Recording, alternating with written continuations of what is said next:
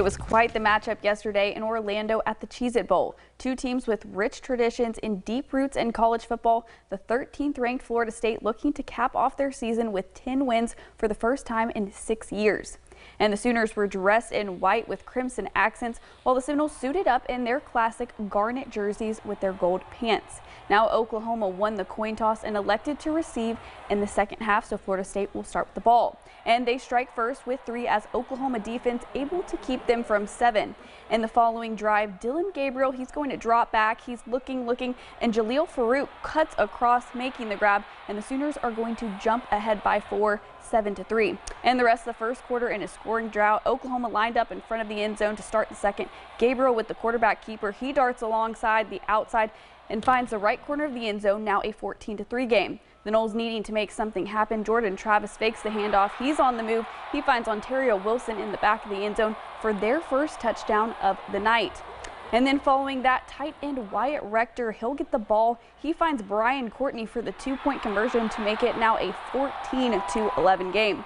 And Oklahoma will lead 17 uh, to 11 going into the half and to start the second. But not for long as Treshaun Ward runs it in and Florida State now leads by just one point. Beginning of the fourth quarter, Sooners on the offense. Gavin Sawchuk runs it in for a touchdown and a successful two-point conversion will put the Sooners up. Jordan with the handoff to Ward. He's showing off his speed tonight with this 38-yard touchdown run, and that's going to tie it back up now at 25 apiece. And then another one for the Noles. This time it's Markinston Douglas, and now FSU is up by seven. Gabriel with the handoff to Jovantae Barnes. He runs alongside the outside and sneaks into the end zone, now 32 points each. Florida State's going to finish how they started with a kick to put them up 35 to 32. And with not enough time left on the clock for the Sooners, the Seminoles will be crowned the 2022 Cheez-It Bowl champs. FSU quarterback Jordan Travis will be named as this year's Cheez-It Bowl MVP. Last night he was 27 of 38, 418 passing yards, and two touchdowns. Mike Norvell says what made this season so successful was the people supporting this program. Disappointed in some of the setbacks that we faced, you know, earlier in the season, uh, but these guys never stopped working. They never stopped believing. Um, you know, this is a special place. Mean, this is a remarkable program to be a part of, and you know, it's it's it's not just you know.